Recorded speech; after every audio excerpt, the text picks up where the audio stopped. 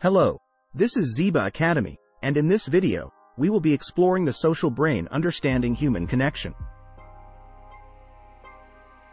We're exploring how our social interactions are shaped by something called the social brain, which acts like a conductor for our connections from ancient times to today's societies.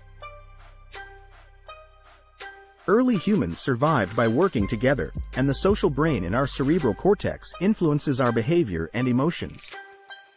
Different parts of our brain, like the prefrontal cortex, mirror neuron system, and amygdala, work together, and chemicals like oxytocin and dopamine regulate our social bonding.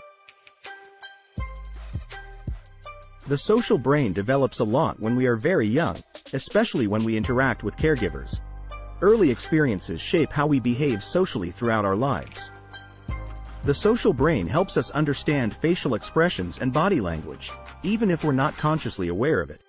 It also quickly reacts to social situations, and repeated experiences shape our long-term reactions.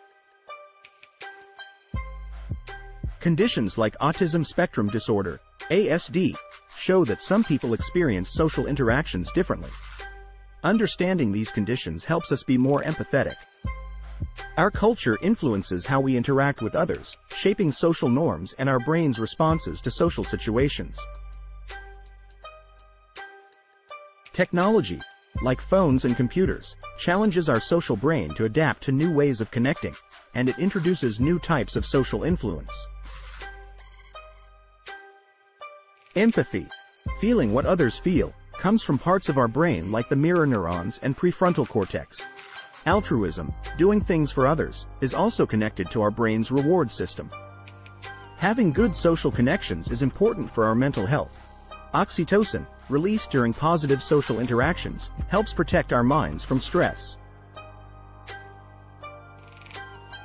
The social brain is like a conductor for our social interactions, and we need to understand how it works by looking at both nature and nurture. We should approach the complexity of human interaction with curiosity and humility. Thank you for watching. And don't forget to subscribe to Zeba Academy for more interesting videos.